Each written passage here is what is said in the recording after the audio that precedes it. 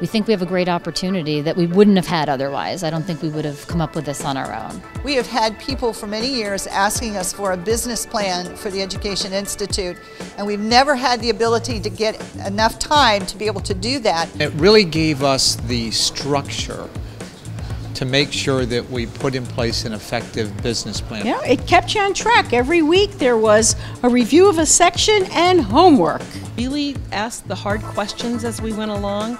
In fact, we almost got to the point every week where we would anticipate, well, you know, Larry's going to ask this, so we better be ready. It's a real eye opener, makes us really focus on what we need to do um, and those have been very helpful and informative. We never would have made that investment in ourselves, but having the Patterson Foundation, seeing something that's viable and has the potential to be successful, and then making that investment in Habitat is really priceless, and we're just excited to see what's going to happen next. It gives us a lot more assurance of success. This is like the cherry on top to be able to go through, and working with Larry and Mike, um, has just been a jewel. They've both been great to work with, and the support that we get from the Patterson Foundation throughout the whole process has been really tremendous and overwhelming.